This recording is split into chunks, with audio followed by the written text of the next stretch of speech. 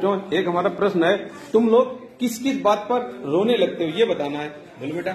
जब हमारी बकरी उठा ले जाते कोई अच्छा। जब हम रोबई लगी घर गए जब मैं कहते बकरी कहाँ है? हम कहना "ब- कोई बकरी बकरी नहीं बेटा मतलब बक, बकरी होता है। बकरी। हाँ तुम बोलो। सर जी जब हमारी अम्मी बड़े भाई के यहाँ रोजा खुलवाई देती है हम कहना है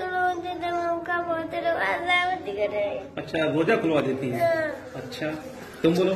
तब तब हम तब दादी मुझको सबको खीर खिला खीर खिलाती है मुझको नहीं देती तब हम रोने लगते हैं। अच्छा तुम बोलो। जब जब मेरी मम्मी छोटी बहन को कपड़ा ले देती है मुझे नहीं दे लेती है तब मुझे रबासी लग जाती है। अच्छा तुम बोलो। गुरुजी ईद होती हमारे। हाँ। लगन हम, हम सबका कपड़ा ले देते हमारे पापा लोग।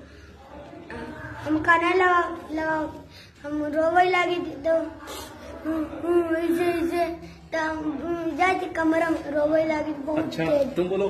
तब तो मम्मी पापा जब फ़ोन करती करे तो हम तेना बात करती तब हम रोने लगते हैं। अच्छा तुम जब पापा मम्मी क्या मारते तो हम रोवे लगे करे। तो पापा को समझा दो पिटाई ना करे। तुम बोलो हिना।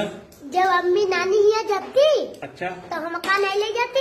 हाँ। तब हम खूब रोई थी। अच्छा। तुम बोलो। तब पापा